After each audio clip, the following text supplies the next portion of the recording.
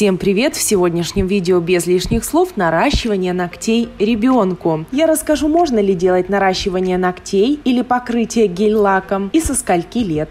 Сегодня наводить красоту буду Даша, ей 11 лет. Как и при всех клиентах, при Даше открываю крафт-пакет со стерильным инструментом. Даша давно мечтала сделать себе наращивание и по предварительной записи и обсуждению с ее мамой мы договорились о встрече. Желательно, чтобы родитель сам привел ребенка и посмотрел, в каких условиях будет происходить процесс. Также скорректировал форму, длину и дизайн ногтей, чтобы впоследствии не было сюрпризов сюрпризов, а мы как мастера должны обеспечить стерильность и безопасность процесса. Так как у детей ногтевая пластина мягкая и нежная, работать нужно очень аккуратно. Также ребенку, который никогда не делал подобную процедуру, желательно объяснять весь процесс, который вы планируете делать. Обязательно вашу юную клиентку необходимо предупредить, что маникюр не должен приносить абсолютно никаких болевых ощущений. И если что-то где-то колет, давит, жмет, терпеть нельзя, а обязательно нужно предупредить своего мастера. На начальном этапе я аккуратно отодвигаю кутикулу и подталкиваю ее. Отклеиваю кутикулу от ногтевой пластины. Пушером на ноготь давить нельзя, так как, повторюсь, ногтевая пластина мягкая. Так мы делаем сразу на всех пальчиках.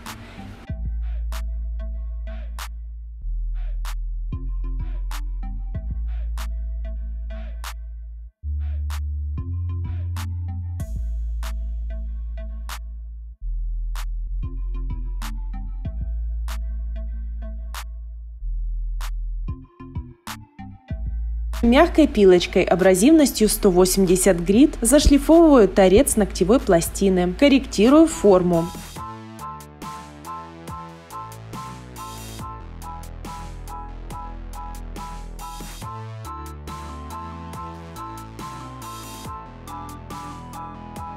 Заканчиваем движением пилочки в одну сторону, чтобы натуральная ногтевая пластина не расслаивалась.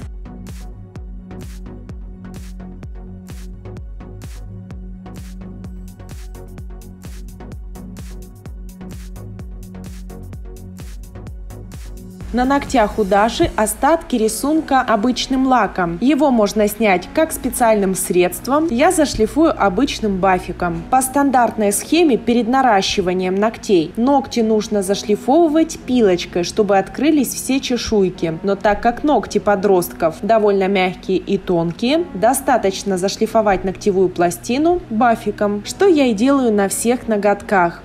Также проверяю, не осталось ли на ногте остатков лака, ведь это может поспособствовать неносибельности материала.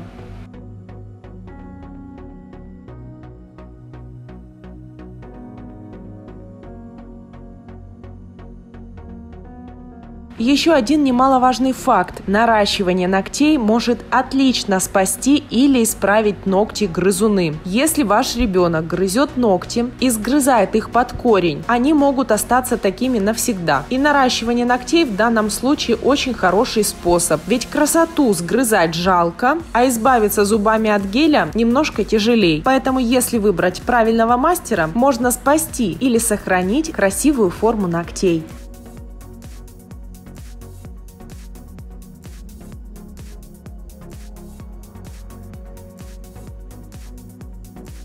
При работе с молодыми клиентами глубокий маникюр делать нельзя. Также детям не стоит делать аппаратный маникюр. Вполне сойдет комбинированный или классический обрезной. Я остановила свой выбор на комбинированном маникюре. Поэтому алмазной насадкой почка с красной насечкой, мягкой насадкой, я прохожусь по всем ноготкам. Сначала аппарат включен на режим форвард на скорость 10-15 тысяч оборотов и обрабатываю левую половинку.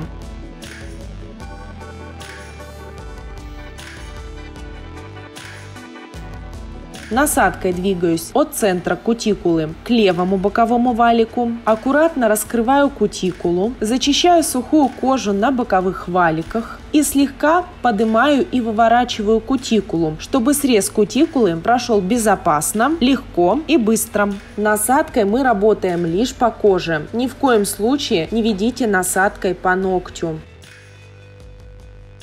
Затем аппарат переключаем в режим реверса. Меняем захват и обрабатываем правую половинку. Двигаемся насадкой от центра кутикулы к правому боковому валику. Также работаем только с кожей. Зачищаем боковой валик от сухой кожи, раскрываем кутикулу и слегка ее приподнимаем. Так делаем на всех ноготках. С мягкой детской нежной кожей работать нужно лишь мягкой насадкой с красной насечкой. Данной насадкой мы разглаживаем кожу и убираем все ступеньки, чтобы после срезать кутикулу кутикулу одной полоской, и после среза не было бахромы кожи и заусенец. Ведь именно их молодежь и не только любит обгрызать и тянуть до самого локтя.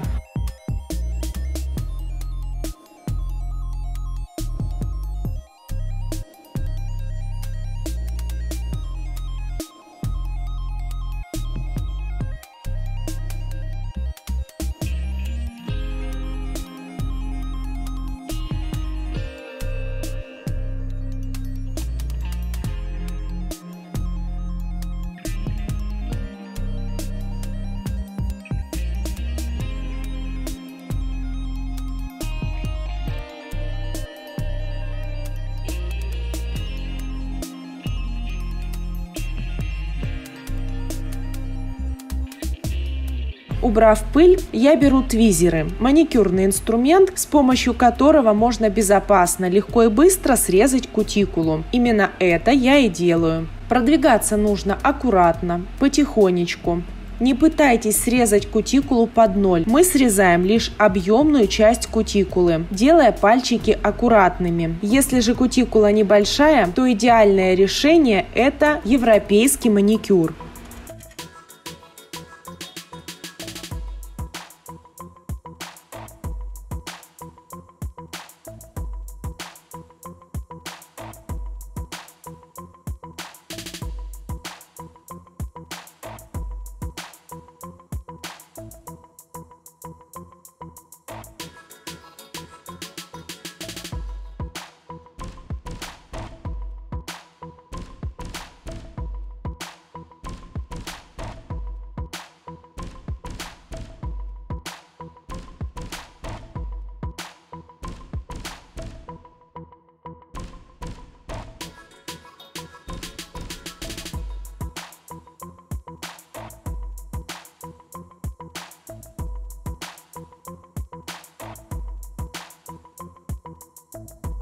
Так как ногти подростков более влажны и склонны к гипергидрозу из-за гормональных перестроек и всплесков, ногти нужно подсушить более тщательно. Для этого я дважды протираю их клинсером и после обрабатываю дегидратом. Следом беру бескислотный праймер. Молодые ногти сушить кислотой не следует, поэтому лучше возьмите ультрабонд. Ультрабонд на ноготь наносим тонким слоем. Если его будет слишком много, впоследствии в этом месте может быть отслойка стойка.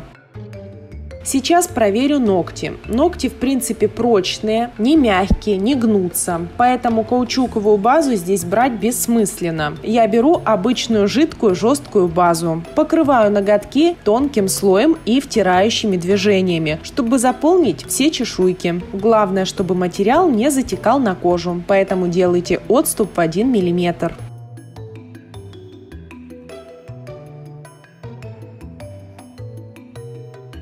Также хочу ответить на один из частых вопросов, которые задают в комментариях, как родители, так и сами дети. Со скольки лет можно делать наращивание? Конкретного ответа дать не могу. Нельзя сказать, что в 17 лет можно наращивать, а в 16 нельзя. Здесь все зависит от решения родителей. Гель-лаком можно покрывать хоть с младших классов. Главное выбрать правильного мастера. А с наращиванием обстоят дела сложнее. У детей ногтевая пластина мягкая и нежная, ее чрезвычайно чрезвычайно легко травмировать, и ногти могут испортиться навсегда. Поэтому главное подобрать опытного, ответственного мастера, который работает стерильным инструментом и качественными материалами. А наращивать ногти или нет, зависит только от решения родителей. Главное, чтобы это не мешало учебному процессу.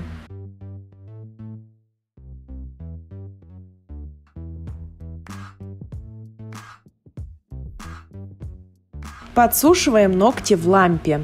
Сегодня наращивание делать я буду абсолютно не используя форм. Это я буду делать полигелем. Данный материал не жжет в лампе и работать с ним довольно быстро и удобно.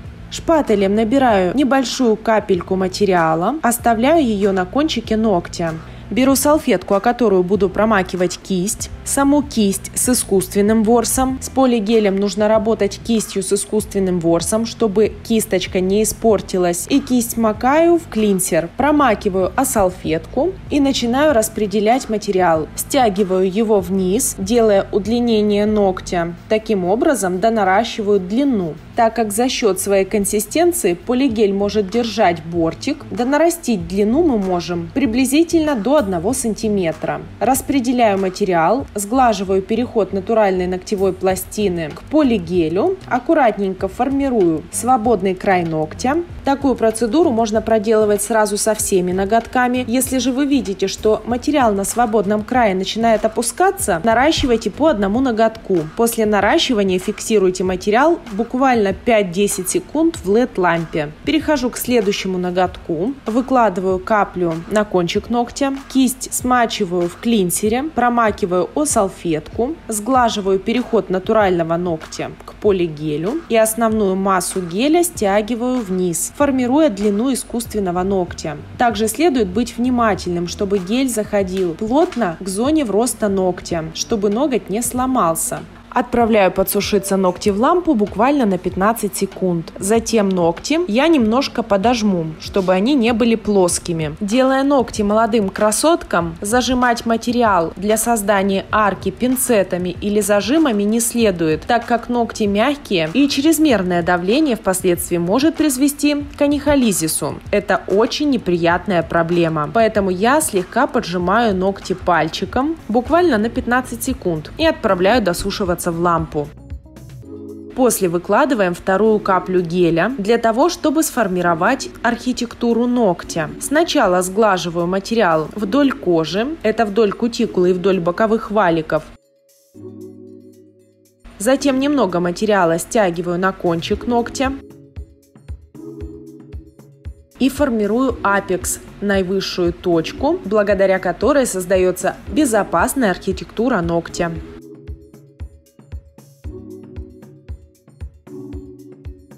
Смотрим, устраивает ли нас форма. Можно сделать сразу все ногти. Здесь материал никуда не утечет. Отправляем сушиться в лампу. Затем снимаю липкость и перехожу к опилу. Корректирую длину и форму ногтей. Выравниваю нижние параллели.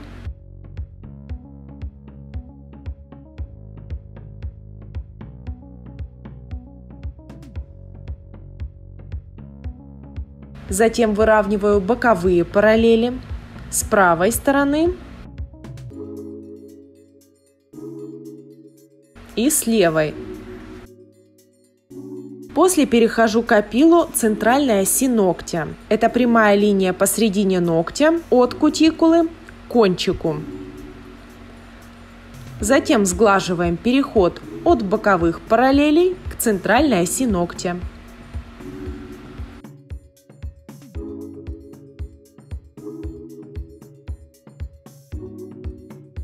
Немножко смягчаю углы.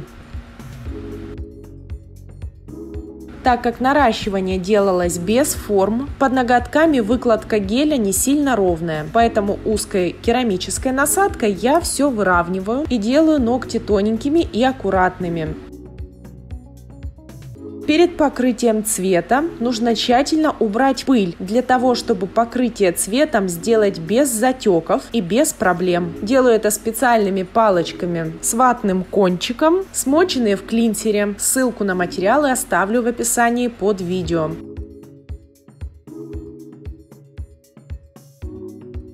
Затем ногти покрываю цветом.